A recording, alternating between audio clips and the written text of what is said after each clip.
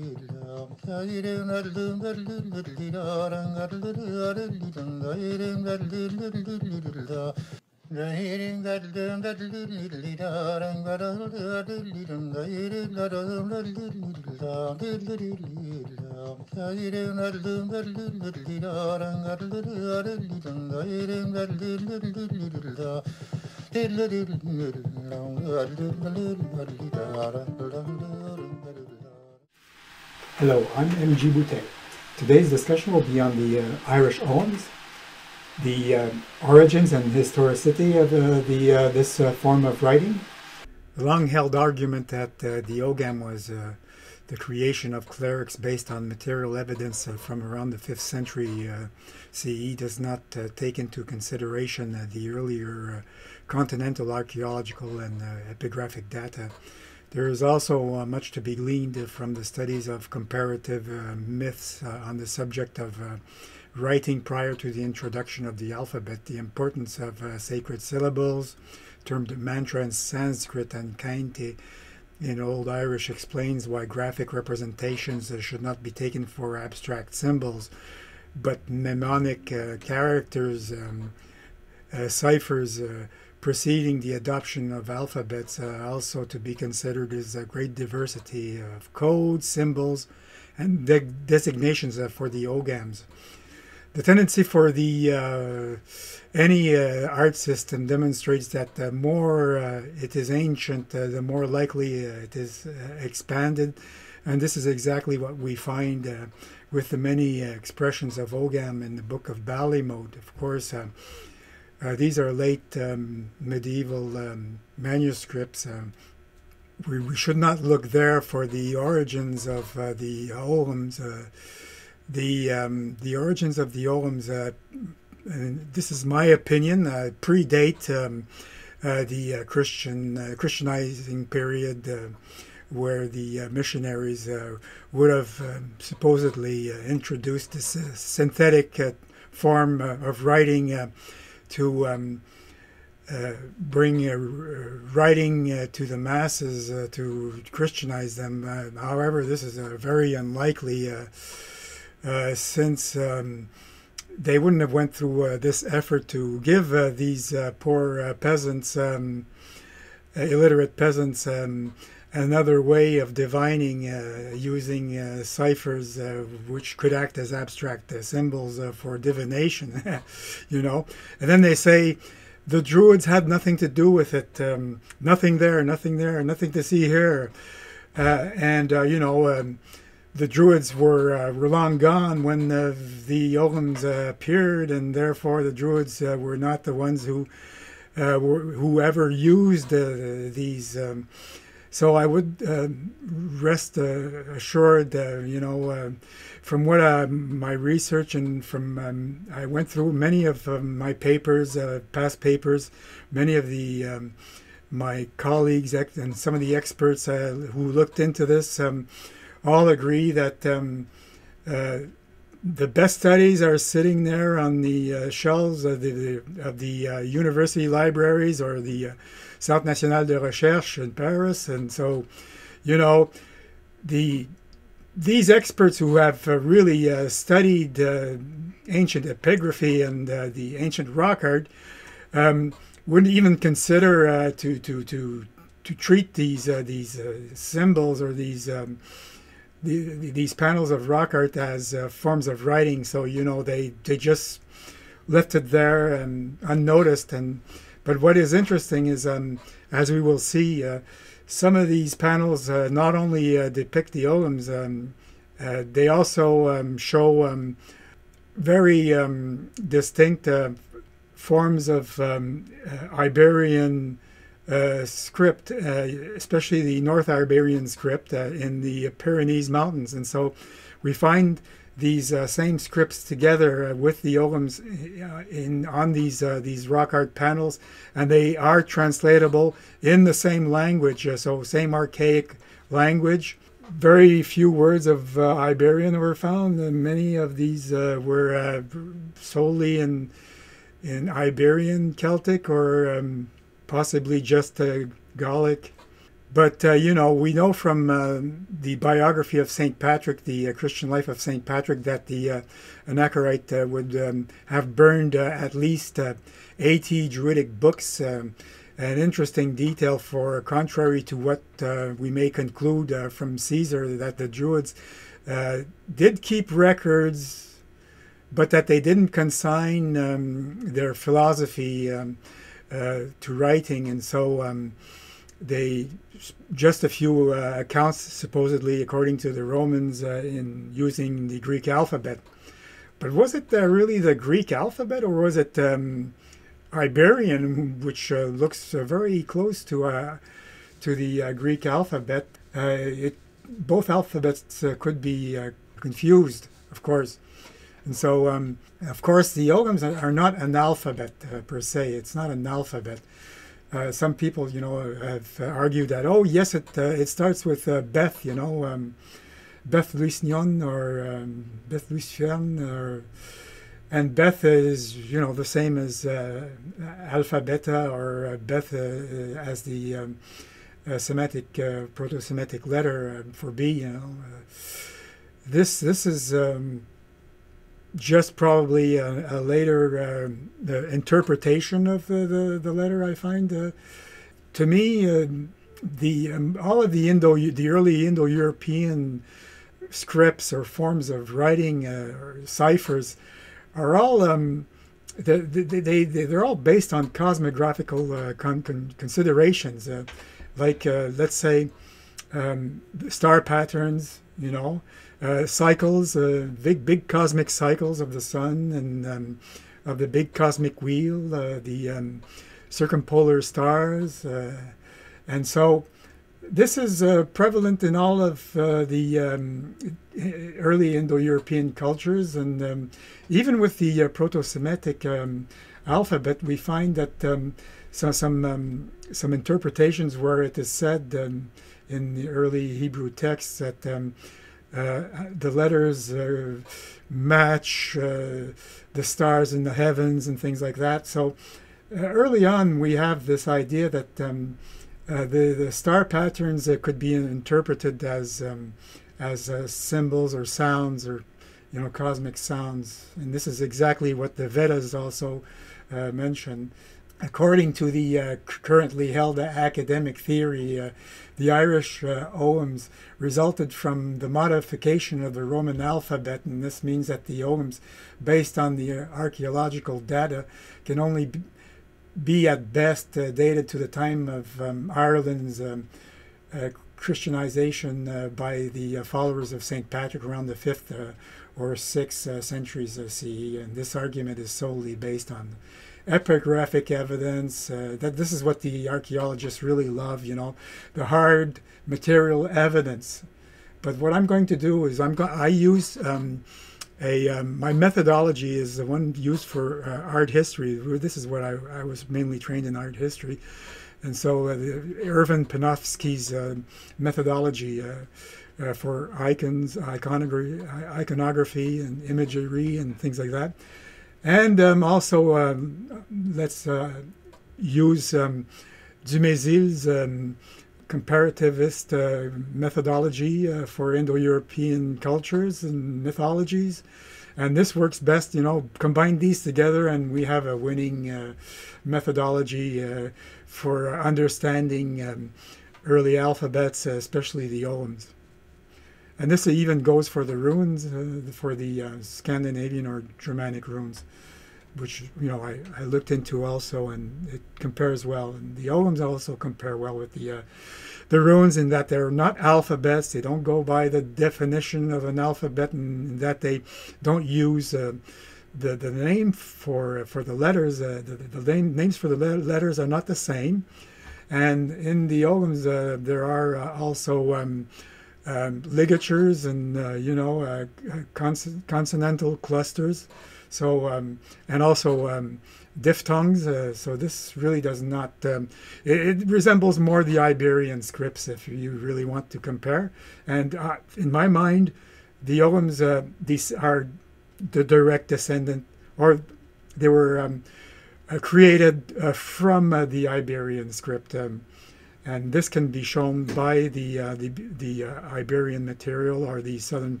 Gaul petroglyphs or the petroglyphs in the Seine Valley, which are around Fontainebleau, and many of um, the um, the uh, illustrated in the Book of Ballymote, um, uh, the symbols and um, the um, ciphers uh, correspond uh, with um, the, those found in the Book of Ballymote.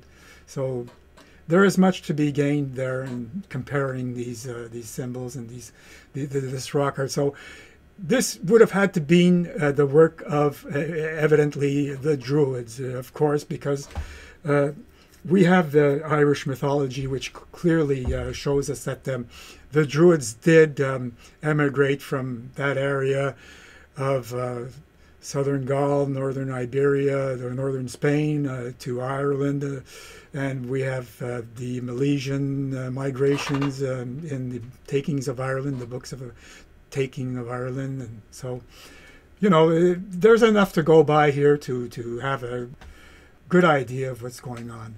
Okay, so um, so the argument that um, you know the Oghams, um, you know, they're they were meant to commemorate uh, the deceased on on uh, funerary uh, stelas, you know, uh, monuments, uh, is you know in my mind um, probably a later evolution, and it's a Christian um, adaptation of the earlier forms. Uh, with during the um, pre-Christian, let's say, pagan era, the um, there was two forms of uh, writing uh, that uh, the um, the scribes used. Um, there was a devotio and um, the evocatio. You know, these um, uh, were uh, meant for the other world, for communication with the other world, and so in that way, it would make sense in a Christian context that um, priests um, would,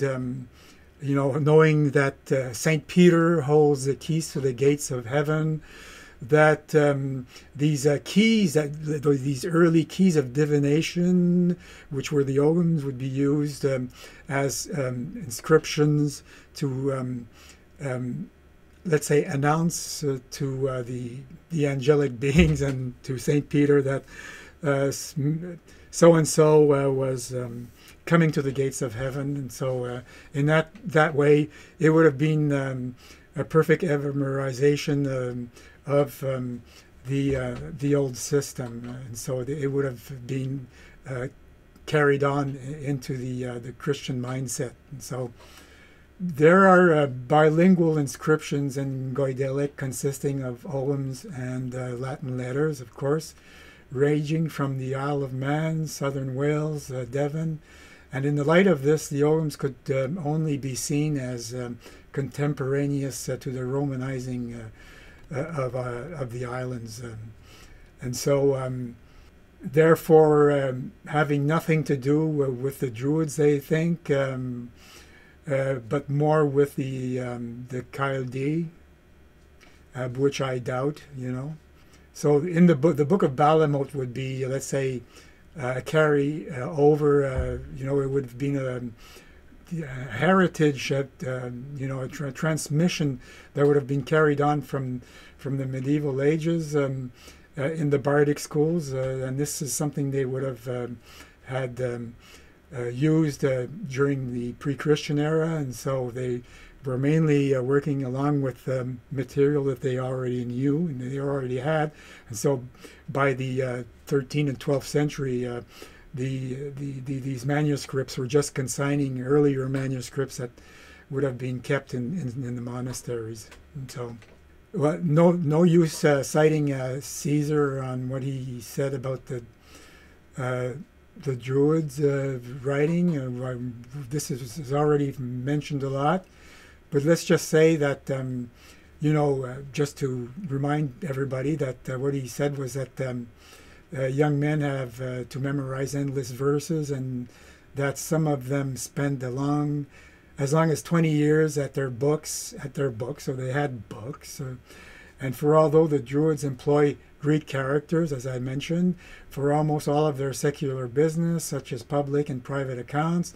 They consider it irrelevant to commit their lore to writing, and I suspect that's Caesar speaking. However, that double motive underlies the practice, the unwillingness to publicize their teaching, and the desire uh, to prevent uh, students from relying upon the written word uh, at the expense of memory training. For the recourse of their textbooks almost invariably discourage learning by heart uh, learning by heart uh, to um, dull the, the powers of memory this is uh, pretty much uh, what you know is always cited when we want to um, uh, show that the druids didn't write uh, you know. But it leaves out um, some of the um, the important things um, that the druids did do. And so, um, so according to the uh, Romans, um, uh, the first seven uh, letters of the Greek alphabet um, were kept by the Fates, uh, the Fate fairies, uh, the goddesses who presided over the destinies of mortals. and we find the same thing uh, with um, the Celts, with the Irish, in that um, Ogma was um, the god who inv- invented the the Oghams and also you have in uh, the Bardus, which was um, late um, 17th century or 16th century uh, manuscripts, Bardic manuscripts uh, consigned by the Williams, that a certain Anagan, uh, the giant, um, was the one who um, who invented uh, the uh, and so, uh, but you know, as as you know, um, Brittonic um, uh, the, the, the, the, the Gallics uh, were also Brittonic, and you, this again, uh, you can find the name is Anicantios, and Anigantos, and, and it's uh, also a month name, and it's um, it means uh, the calamitous, um, the terrible one, and so uh, you have this notion as you know, Ogma was also a terrible. Um, deity and that um, he was the god of eloquence, uh, a, a, war god. He was uh, Heracles, uh, the Hercules of uh, of the of the Celts in general, the Ogmios in Gaul and Ogma. Okay, and this um, okay pretty much explains the um, the unity and the myths surrounding uh, this invention of writing and the Greek uh, poet Ovid in his fables evokes uh, the seven fate uh, symbols which were in use uh, in the past. Uh, and he writes that, that um, Ovid writes in his fables, uh, thereafter uh, Palamedes, son of uh, Nauplius, invented 11 more, taking the count to 18. Then it was said that um, Epicharmus uh, Carmos of Sicily added uh, theta and chi, and then p, and then psi. So according to others, uh, the last letters, uh, omega, epsilon, zeta, and psi and phi were added by uh, Simonides uh, to this early script. And older accounts mention that um, after seeing a flight of cranes. Notice the cranes, uh, again, link to the fate fairies, and we have the same with the Celtic uh, myths, uh, that they uh, took different shapes. So Hermes was inspired to, to transcribe these into symbols uh, for writing. Hermes. So we can say that this uh, Ogma or Agmios is the Gallic or Gaelic Hermes. Okay. In short, the many variants of alphabets um, originally used in Greece became standardized only at a much later date. That's around uh, 403 BC. And could the Greek authors have confused the origin myths of earlier forms of writing to that of the introduction of the alphabet, borrowed from the Phoenicians and attributed to a certain Cadmos? Latinized as Cadmus. Uh, reportedly, it was a um, certain Prince Cadmos, founder of Thebes and brother of Europa, who first taught the alphabet to the people of Boeotia. So the same theme could also hold for the dual origin myths found in Irish lore. Uh, one of these is uh, the one attributed to the uh, Persian Phineas Farsad, who brought the, uh, the Bulbileth to Ireland from Scythia after the dispersion of peoples from the Tower of Nimrod. This is, of course, this, of course, was the Christian Irish rendition of the biblical story of the fabled Tower of Babel and the mixing of tongues. All right, so just a little um, note here.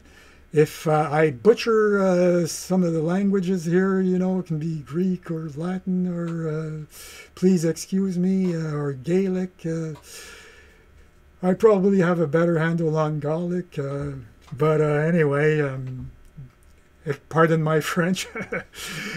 okay, um, so um, whence, uh, according uh, to the Lebor Gabála Érenn of Book of Takings of Ireland, the Irish Scots had come out of Scythia, being the direct descendants of one Phineas Farsad, a Farsaid, uh, a king of Scythia, Phineas Farsaid, and his son uh, Nel went into Asia to work on the Tower of Nimrod and were thus present at the subsequent dispersal of the races after the destruction of the tower. And Phineas and his son were both erudite of the new languages which resulted from the, this dispersal, who thereafter returned to Scythia, where uh, Phineas uh, opened a celebrated school of languages on the Scythian plain Herewith is a passage from the Orais on the origins of the alphabet. Eh? So on the alphabet, uh, for example, uh, for an author's uh, selection or for selecting of words, uh, for example, of voc vocables, uh, vocable, or uh, the selection of a tower, or from the word a, b, abecedarium, abecedarium. For example, at the beginning or is that which ripens their speech for everyone or alphabet that is placing a B or is it that, that which ripens in Gaelic, incipit in Latin, apix in Greek, A, B, C, D, Dibium in Hebrew. So this is uh, from the Auraicept. Uh, then on the Yogam, um, the Auraicept has this to say, uh, the Book of Ballymote letters, the Book of Ballymote letter ascriptions are replaced with biblical names, okay?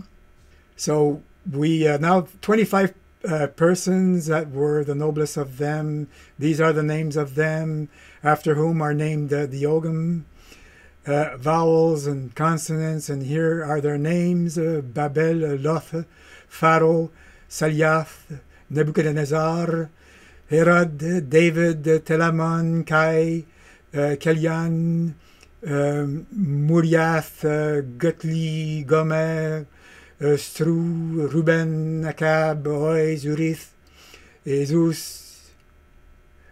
Boy, that that's a hmm, interesting. Uh, Yakim, uh, Ethrochius, Wimelicus, uh, Eudonius, uh, Afrim, Ordines. Uh, these are the names of the 24, 25 persons, the noblest that, that were in Phineas' school, and uh, others again say that um, this is the alphabet which was invented in Akkad and at the causeway of the great uh, estuary that Amergen, son of Mil, invented the Beth Luis of the Oghams. Oh boy. So this Mil, okay, Milesius or Milesius or Miletos in, in, in Old Celtic means uh, the havoc. Same as with um, the other, um, the one who invented the Oghams, uh, the uh, uh, or this um, uh, Heracles, or uh, this Hermes. Uh, so we have him here, you know, so he's from Spain, of course. And so this really um, tells you, okay, so these organs they came from Spain. okay, right. So should we trust this um, legend? I think so. It sounds logical. Okay, from reading this passage, we learn that garbled pseudo-Semitic names are awarded to 25 characters of the Oghams in line with the school of Phineas Farset. Also noteworthy is um, the following mention that the alphabet was invented in Akkad. So one thing about this uh, Farset, you know, this is the uh, Gaelic name uh, for Persian, you know, Persian, so it means a, a Finn, uh, Phineas is a Latinized version, uh, Finn the Persian, you know, but um, in fact he was um, Milesius, uh, the um, Span Spaniard. And that it, through a traditional initiation of the Yogam, the causeway of the greatest uh, estuary, that the Beth Luis was invented by Amergan, a son of Mil of Spain, Mil of, of Spain. So if we are to trust these medieval uh, uh, texts, uh, it appears that the alphabet was invented uh, in Akkad, in Mesopotamia, and that the Beth Lisnian was invented by the Milesian Amergan of Spain, and that this Akkadian attribution is probably uh, about the Greek Cadmos, uh, and it resembles the Cadmos theme that we find in Greece. This is something that could have come to the monks, the Christians, uh, since they, they also spoke Greek and they were from the Alexandrian school of Christianity. So to summarize, in Greece we have linear A and B, and these are pre-alphabetic, okay? And then in Ireland we have the Ogham, okay? And this, in my mind, is also pre-alphabetic. So for the um, for the, the and B, during uh, the Trojan War, um, this uh, Palamedes uh, of uh, Argos, son of Nauplios, and a descendant of Belos, Be check the name, Belos, Bel, and Danaus, check the name, Danaus, Dan, Danu, invents numbers and dice, adds uh, 11 more symbols to the seven symbols of the fate fairies. Okay, then we have a different myth in Greece about the invention of the alphabet. The Phoenician Cadmos, founder of Thebes and brother of Europa, first taught the alphabet to the people of Boeotia. This makes sense. It would have come into Greece through Boeotia. And for the Oghams, we have the Irish Oghams, the Ogham symbols were the creation of Agma, son of Ilatha, and the god of eloquence and poetry. And others give the druid Amergan, Amorgan, and it, as its inventor.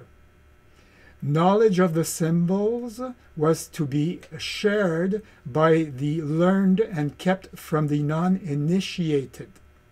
Okay, so this means that these were symbolic uh, of something or ciphers or symbols. Okay, more than just letters of an alphabet. But then we have the mention of the Bobileth. And we know that Bobileth is the uh, Gaelic version of the Hebrew Bible, okay, in that you have Leth for Lath, which means um, the laths were um, pages of a book. Okay, so this is the the Bible laths. So the Bobileth was given to the Gaels by Phineas Farset of Scythia from Akkad after the first language was brought from the Tower of Nimrod. Okay, so the cl classical authors who historicized their myths did so contrary to the Celts who mythicize, mythicize their history, often described Celtic mythos as it had happened. And this is the case for many things about the Celts, the perception of the Celts by the Greeks and the Romans. So the oldest examples of Taliesin's three uh, tree battle came not from the Welsh manuscripts but from a Roman source that follows what follows here a quote from uh, the Roman historian Livy explaining the battle of the Cisalpine Cisalpine Gaulish uh, battle of trees which um, uh, was called Litana Widua the broad forest which would have been probably the earlier version of the Battle of Trees of Taliesin, the poem. So in BC, uh, uh, you know, before the Common Era, uh, 216, it was a year of dire tribulations. Postumius, the chosen consul, that was the son who was born after the, the death of the father, this is, you know, nine months uh, after the conception. So the chosen consul perished with all of his troops on the Roman side of the Alps in the Cisalpine region. In this area, there was a vast forest, which the Gauls called Litana, and which he was to lead his army. And uh, here is the summary of the passage. So the next day, on the um, proposition of Manius Pomponius, uh, the praetor, uh, the Senate decreed that a letter should be written to the dictator to the effect that if he thought it for the interest of the state, he should come together with the master of the horse and the second praetor, Marcus Marcellus, to hold the election for the succeeding consul in order that the fathers might learn from them in a person what condition the state was, take measures according to the circumstances, and all who were summoned came, leaving the lieutenant generals to hold command of all of the legions. So the dictator, speaking briefly and modestly of himself, attributed much of the glory of the campaign to the master of the horse, Tiberius Sempronius Gracchus. He then gave out the day for the comitia at which he consuls, uh, the consuls created were Lucius Postumius and his in his absence being then employed in the government of the province of Gaul for the third time, and Tiberius Sempronius Gracchus, who was then master of the horse, and uh, Curule Aedile, Uh, Marcus uh, Valerius uh, Laevinus um, Appius Claudius Pulcher, Quintus Fulvius Flaccus, and Quintus Mucius Scaevola were then created praetors. After the election of the magistrates, uh, the dictator returned to his army, which was in the winter quarters of Teanum, uh, leaving his master of the horse at Rome to take the sense of the fathers relative to the armies to be enlisted and body to the service of the year, and he was about to enter upon the the um, magistracy after a few days, while busily occupied with these matters. Intelligence arrived of a fresh disaster, fortune uh, crowding into this year, one calamity after another, that Lucius Postumius, consul elect, himself with all of his army, was destroyed in Gaul. He was to march his troops through a vast wood, forest, which the Gauls called Litana. And on the right and left of his route, the natives had saved, uh, sawed the trees in such a manner that they continued standing upright but would fall when impelled by a slight force and Postumius had with him two Roman legions, and besides had levied so great a number of allies along the Adriatic Sea that he led into the enemy's uh, country 25,000 men, and as soon as his army entered the wood, the Gauls who were uh, posted around its extreme skirts pushed down the outmost of the uh, trees which are failing on those next to them, and these again onto another, and others, which of themselves stood tottering and scarcely maintained their position, crushed arms, men, horses, and in an indiscriminate manner so that uh, scarcely 10 men escaped, and for most of them uh, being killed by the trunks and broken uh, boughs of the uh, trees, uh, the Gauls who beset the wood of all sides in arms, killed the rest, panic struck by so unexpected a disaster. A very small number who attempted to escape by a bridge were taken prisoners, being intercepted by the enemy who had taken possession of it before them. And here Postumius fell, fighting with all of his might to prevent his being taken. And the boy, having cut off his head, carried it to the spoils. Um, stripped off his body in triumph into the most uh, sacred temple they had, and afterward they cleansed the head according to their custom, and having uh, covered the skull with uh, chased gold, they used it as a cup for libation in their solemn uh, festivals and drinking cup for their high priests and other ministers of the temple. The spoils taken by the Gauls were no less than the victory. For though great numbers of the beasts were crushed by the falling trees, yet as nothing was scattered by flight, everything else was found strewed along the whole line of the prostrate land. Well, this looks a lot like the um, illustration found on the uh, cauldron, uh, Gundestrup cauldron, that we have uh, with the uh, soldiers marching on with a a, a tree trunk uh, and then um, a giant um, uh, throwing uh, the deceased warriors into a cauldron. And so, in a way, we, you can say that the Romans, of course, um, they use this theme, um, this mythological theme, to um, create more uh, pathos and mystery uh, surrounding um, the disappearance of um, their um, uh, their soldiers.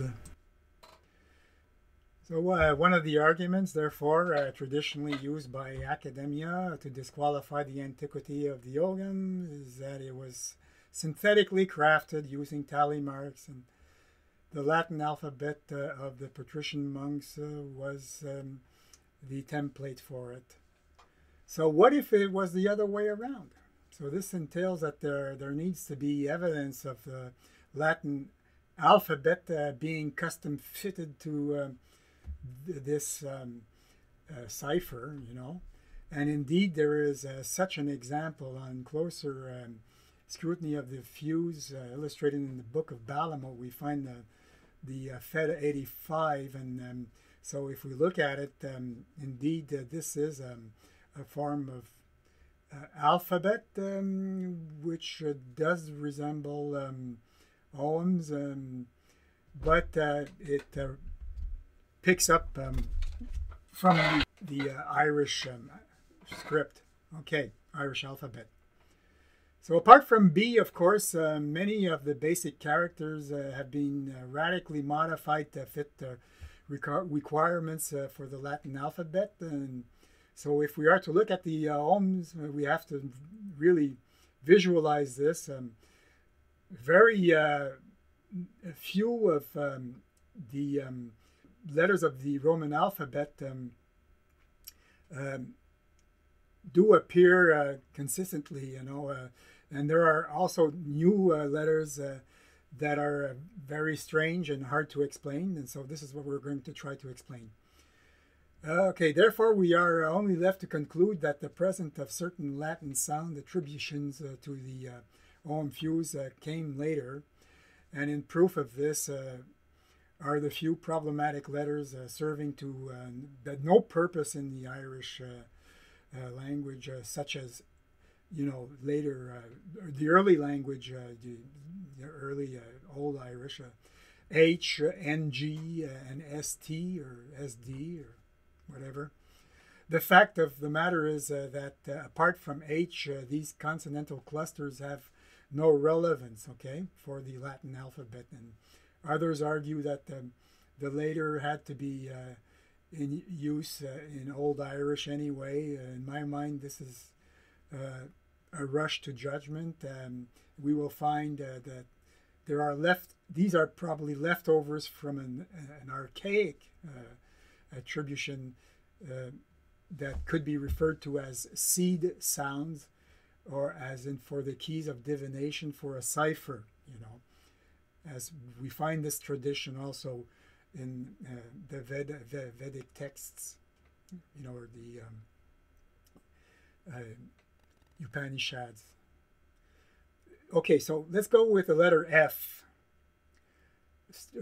We need to explain, you know, this letter, uh, okay, because of course uh, the letter uh, is uh, evolved from V, okay, which in turn uh, this V de derives from the Latin U, and uh, you know it can be noticed. Let's say if you take the word vir, it was uh, written, you know, with a U, U I R, and so um, it appears as a V I R for man, and, and since it, this um, initial uh, v, uh, U uh, became pronounced as a, a V or a F. This is how the um, the uh, the V and the F evolved. Okay, so when we have, let's say in Irish, when we have fern or fin, uh, that means um, originally in Old Celtic it was a U. And uh, which now, uh, let's say in, in Welsh, it can be encoded as a W. okay. So um, also uh, there is a tendency uh, in the Celtic idioms for U to later mutate into B, which can be noticed uh, noticed with the, the words um, the from let's say from the old Celtic bodua, it becomes a bulb for crow, the B O D B, and then you have um, for uh, sa, um, S-A-D-H for uh, the deer cow, you know, the female uh, of um, the deer, of the, uh, okay, so on rare examples, a B can also morph uh, into a labial dental F expressed as a PH. We find uh, also the same, you know, PH could or could morph into an F, okay? So this happens, you know, if we take the uh, the old Celtic bagos, it becomes phagos, phogos for birch tree. Other mutations occur with the B follows um, Goidelic uh, barcos with the uh, initial M. You know, it, it's it's a nasalized.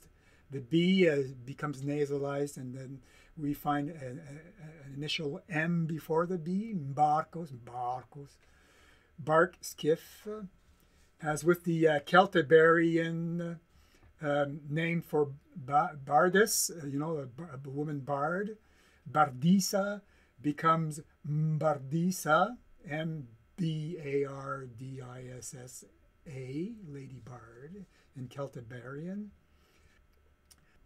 So let's go for the H now. While the symbol for H, eta, is found in the Greek alphabet, it has the value of E. The aspired consonant H is probably from the Etruscan script or Elder Futhark Hagal, since it does not appear in the Iberian syllabaries either. So in the Oghams, aspirated H follows the unvoiced sibilant S. And this is a normal, uh, it's a normal procession since H replaced the unvoiced palatal alveolar sibilant sh in the Iberian scripts, thus having the phonetic value of sh. So when we do an etymological, etymological run-up of the Gaelic letter name, we have Huath from the old Irish huetes for hawthorn, which at the old level was spelt scuetes. S C U E T E S. Therefore, for a Pyrenean proto-ogham, H replaces the consonantal cluster SC. Okay, Originally, H was SC for squietus. The mystic symbol Huath from Huatos, prediction, prophecy, came to be taken for the adjective Watakos, Wataka, Watakon, for monstrous, terrible. And in light of this, Ska could have had corresponded to Skath, Skatos, obscurity, shadow, the adjective Skatakos, darkish, somber, shadowy. And in Irish mythology, Skatach and Watach uh, form a mother and daughter duo comparable to the Germanic Valkyries. And at the old level, the names of these tantric warriors, warrior witches, were Skataka and Wataka. Most evidently, this reasoning when enforced by the symbolism of hawthorn, since this tree was tradi traditionally linked to divination and sorcery. There we have it. So of NG, this ing, this nga, this biconsonant was had this biconsonant has baffled many since it is not found elsewhere other than with the futhark ing, also having the value of ng. And the Auraicept indicates that when a weak vowel proceeds n, it is dropped. This being that the n is voiced and accentuated as n. n for n, in, an, on, an, un. Also noteworthy is the that in the Beth Luis Nion, the letters N and NG are placed in the third position of their ranks, along with the letter U. And again, this NG is linked to fatality as a symbol and it goes way back to the common Indo-European period. In Vedic yoga, the saman or seed sound, the seed sounds are the core elements of the bija mantras, the germ expressions, and one of these is that of the Naga serpent syllable, NG. NGA, Nga. And this Nga syllable is said to trigger the anahata, the heart chakra in Naga Yoga. And in the Ogham, the Ng, Ing, Ink is named Gnetal. And stem stems from Inikaitalis, Inikitalis, which means immersed sedge or water sedge. Therefore, henceforth, reed. The prefix ini is from inisma, of the old Celtic inisma, meaning immersed. And in Old Celtic, NC plus U. So we have them tra tracked in, at the third position. NC and U, because NC precedes NG. For Enku, Inku, Anku, Fatality, unavoidable necessity, death was the expression of the Fate Fairy as she presided over this symbol.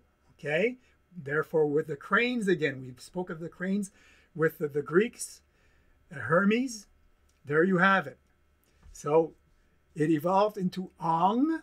So in Gaelic, in Old Irish, we have Ong okay, O-N-G, for chastisement, disease, restraint, and tribulation. So ng is ong. Of st, okay, of the letter cluster, the cluster st, consonantal cluster. So the T in the ST cluster derives from the devoiced D in SD. SD results from the mutation of the letter D, which evolved to a Z and S. This is why in Gaelic it's often uh, mentioned that this letter, the ST, is a Z. okay, or for the Americans, a Z. Okay, so in Gaelic, SD was marked uh, in Gaelic, in Gaelic, in continental uh, Gaelic, SD was marked as a D with a bar in it. It's a, it's a barred D, and it had the pronunciation of Z. Okay, and similar to the English Z, like for the, okay? But, you know, in French Canadian, uh, we French Canadians, we, we uh, have this distinction also, uh, the same as with the, um, the old Gaelic distinctions, you know, for um, the, the name uh, Deus uh, in Gaelic, it, it, evolved into Dieu in French, you know, Dieu. Uh, but the French Parisian pronunciation is like for the Germanic D, you know, Dieu, Dieu, you know. And uh, but we have we we kept this uh, this Gaelic um, uh, um, pronunciation for this letter, and it, the same goes for the st, you know, like for the the th sound. Okay. So in turn, the letter inside the word could also be written SS, and we often find this in, let's say, in, in epigraphy, in Gallic epigraphy, as with, uh, you know, for the um, the feminine theonym uh, Sirona, you know, uh, the goddess Sirona, we find her also in, in Britain. Uh, Dirona is zero, zero, Zirona, the starly, stellar. In uh, Iberian, it was uh, noted simply as a variant of uh, the sh, the s, uh, and translated as as a z, you know, as with the, the Gaelic. So it's interesting here that we already we have this notion. Uh, so it probably came from Iberian. It moved on to um, to Ireland. So thus, uh, strafe, zdreif, zragina, or zragina, blackthorn in old in the Ogham. Uh, for clarity's sake, um, so there herewith is a you know the the Auraicept, um, what letter, what character, what sound is that which uh, no word is ended, and dinin disail of F, and what sharp sound is found with which uh, no strong word is begun, and G, uh, the five principal uh, vowels of the Ogham. However, it was from the five persons who were noblest of them that they were named A, O, U, A, E, Aue. Others again say that seven, okay, uh, seven vowels, principal vowels are there, and uh, from the seven persons that were the noblest, and which was we mentioned earlier. And so the expression din disel uh, uh, makes it the, makes the most sense in that din dinin out of nin, the letter n, and disel out of the letter sail, the letter s, sal, were interchangeable in order with uh, with fern, the letter f Moreover, Feda, the Old Irish name for the letter, derives from fid, wood, thus connoting fid for knowledge and understanding. So, fid, wood, that is fid a, extent of them, since five form of a are in existence, a that nourishes, a that sings, a that sews, a that judges, a that sits, now, A that nourishes, for example, while it is on the mind, and A that sings at giving it, and A that sues while asking the reward for it, and A that considers about its greatness or its smallness, and A that sits after being paid its reward. So A from Ain, A-O-N, excellent, noble, illustrious, A-O, you know, the as, as for a prefix, uh, for here taken for Aub, Aub, Aib, A O I B H in Irish. Uh, similitude from Aiba, Aibo, the look, the mean, the appearance, the form, the physiognomy, and the type. So here we have it. Uh, it explains it all. For YA, uh, sings and speaks and utters, and so it's it's the mean, M-I-E-N. This informs us that the device of poetic wordplay is the operational mechanism to operating the symbol sound system of the Oghams, harmony, discernment, where the good measure of natural law set up the Druid philosophers, set up by the Druid philosophers, the feminine turn, and now having uh, meaning, uh, the meaning of harmony, poetry, affluence, wealth, good understanding was used to define poetic art, uh, sacred meter, and anua, lady poet, a term pund, which uh, and anamu um, for soul. Uh, in modern Welsh uh, carries uh, anafa, the, the, meaning of uh, defect, uh, which derives from the old Celtic adjective anaos for faulty or you know filthy rich. And another crafty play on words involved uh, anao for anawa, anawan for uh, discordant, quarrelsome, disagreeing. Uh, word plays are very important. Uh, and for the word, in, in uh, of course, in, in, Old Irish, we have imertas, uh, which means um, playing, an exploit, a contrivance, machination, trickery. So it derives from the Old Goidelic uh, verb uh, ambi uh, berimi, uh, meaning to use or to employ. this poetic art of alliteration, of assonances, was termed uh, anawitu for the, the record. Um, the surnament was um, dironatu, and it is uh, mental faculty. Um, this uh, mental faculty was called um, barnon uh, to the neuter gender, and the Irish equivalent for harmony was uh, siochen, uh, adjective uh, peaceful. Uh, for harmony, uh, seemed to derive from the Old Celtic uh, suligu, harmonies, hence the adjective uh, suliguos, suligua, suliguan. Again, uh, the Auraicept for the entire quote, uh, you, you, know, you look at it, you look at it, it up, it's all there.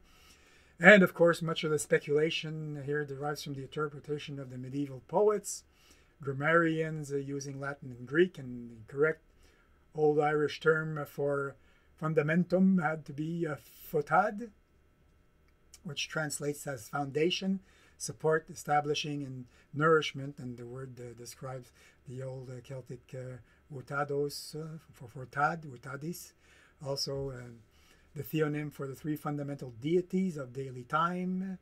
Again, the speculation of the nature of the wood, both natural and artificial and also cosmic as a cusp for cos uh, for um, uh, co cosmic house, you know, for uh, astrology. So um, this about sums it up uh, for these uh, peculiar letters, um, which uh, you know I have interpreted here for you, and um, of course um, for the keys of um, divination, uh, you know, um, there is uh, there are many texts that we can find, you know, um, attributed to Amargan and um, others um, that we find also in the Vedas uh, that pretty much um, explain exactly the same thing, you know, as uh, the, the term, uh, let's say, um, um, uh, akshara, you know, and um, Yokra Exi, uh, uh, they're both etymolog etymologically linked in the old Indo-European roots, you know. The notion that uh, there was an Indo-European past tradition uh, had to be carried on. And since we, you know, given the etymology of Yocha, we have the old Celtic name. But Yocha was spelt, um, you know, in Gaelic, E O C H R A, which in the old Celtic was Akshara. Akshara. So Akshara um, is pretty much the same as, as the Sanskrit Akshara, you know. And, um, and for the um, the uh, this was a bija mantra, uh, okay.